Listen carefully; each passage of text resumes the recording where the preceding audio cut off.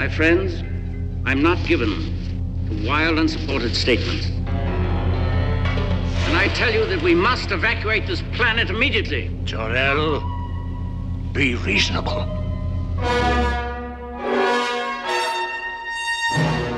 Once there was a civilization, much like ours, but with a greater intelligence, greater powers, and a greater capacity for good.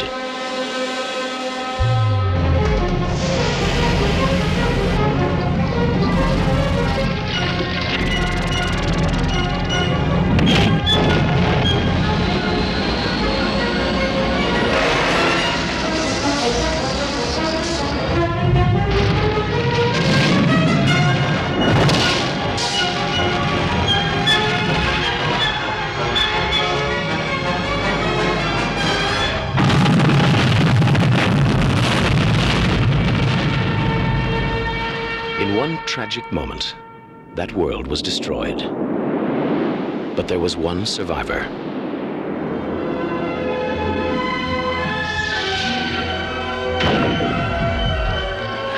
Now, wouldn't that beat all get out?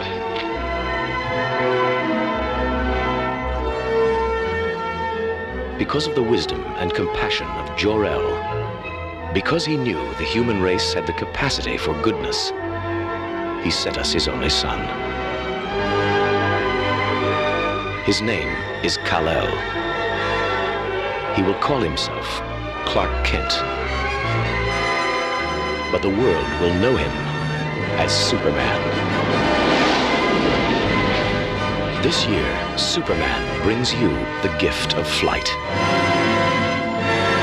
Superman, the movie.